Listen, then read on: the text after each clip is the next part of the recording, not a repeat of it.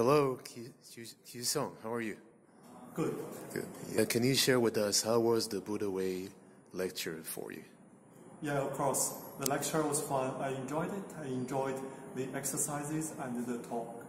Thank you. Mm. Is there uh, one idea or tool or exercise you think you can take out of this lecture and apply in your life or in your work routine at Intel?